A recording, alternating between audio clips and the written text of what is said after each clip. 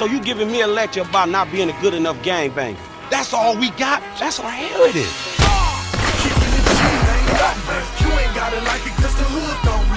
I thought we was trying to get out of this bullshit. You sounding more and more like a snee eye itch every day.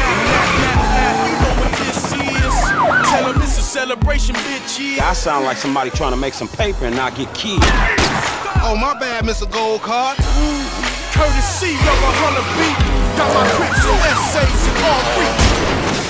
Reach. Ah, gangster shit. You ain't got no respect. I got respect for reality. Enjoy them hoes, homie. Yeah, whatever. You ain't gotta like it cause the hood don't love it.